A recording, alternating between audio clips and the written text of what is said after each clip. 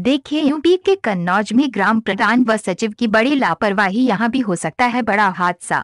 जनपद कन्नौज के विकास खंड हसेरन के अंतर्गत ग्राम मजपुरवा में। छह महीने से टूटी पड़ी पुलिया अभी तक नहीं किया गया काम, अधूरा काम पड्डा है। जिसकी सूचना राज्यपाल ने ग्राम प्रधान से की थी कि जून के महीने में नंद किशोर पुत्र मूरत लाल, सतीश फौजी पुत्र मूरत लाल का भराव किया गया था।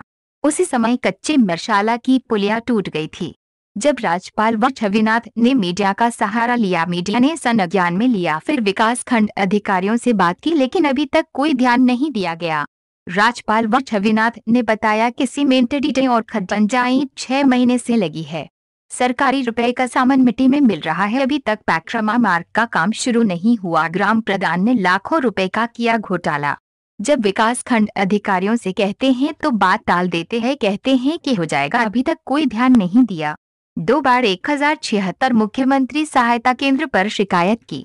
लेकिन राज्यपाल की बात को अनसुना कर दिया है जब पानी बरसता है तो राज्यपाल व छविनाथ को दिक्कत का सामना करना पड़ता है। ग्राम पंचायत में विकास के नाम से कोई कार्य नहीं किया गया। सवाल ये उठता है कि शासन व प्रशासन द्वारा कोई ध्यान नहीं दिया जाता है। क्या अब शासन, प्रशासन द्वारा सख्त कार्यवाही की जाएगी? ग्राम पंचायत में जाँच करवाकर सख्त कार्यवाही की जाएगी। इंदरगढ़ से दर्शन राजपूत की रिपोर्ट। बताइए क्या समस्या है? समस्या क्या है? यहाँ पर में बहुत गंदगी है और यहाँ से निकलना भारी होता है हम लोगों का। यहाँ पे ये रोड बनना चाहिए अच्छी तरह से। इसको टूट फूट पुलिया हमने देखा है वहाँ पे ईंटें पड़ी हैं। ये कितने दिन से पड़ी हैं? ईंटें सालों से पड़ी हुई हैं कोई इसकी सुनवाई नहीं है। प्रधान का क्या नाम है? रामनाथ। कहाँ रहती हैं वो? आलम साहपुरवा में नाम है आपका? राजपाल। कहाँ रहते हो?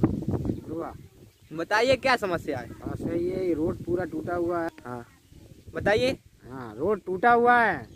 और कहीं ये पानी भर जाता है कीचड़ भर- हो जाता है यहाँ निकलने की बहुत दिक्कत है। पुलिया भी टूटी है। हमने देखा यहाँ पर ईंटें पड़ी हैं ये कितने दिन से पड़ी हैं? ये लगभग एक साल हो गया यहाँ पड़े। आपने प्रधान से नहीं कहा था? सबसे कहा कोई सुनता नहीं है। प्रधान का नाम क्या है। प्रधान का नाम क्या है? रामनाथ। आपने उससे कहा नहीं था? कहा था? क्या बोले थे? वो कहता करा देंगे करा देंगे वो करता कुछ नहीं है। कितने दिन हो गए? लगभग एक साल हो गया।